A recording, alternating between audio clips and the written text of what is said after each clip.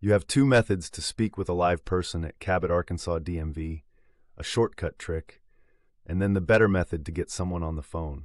So be sure to keep watching for the best method. Dial 101 to shortcut through the annoying automated messages. Now, the next method is the better way to reach a live person at Cabot, Arkansas DMV. I built a calling tool. To use it, open up your browser, go to claimyr.com, and search for the Cabot, Arkansas DMV option. Claimyr can automatically call any phone line for you. It'll connect you directly to a human at Cabot, Arkansas DMV. It dials the number and stays on hold for you while it waits for an agent to take the call.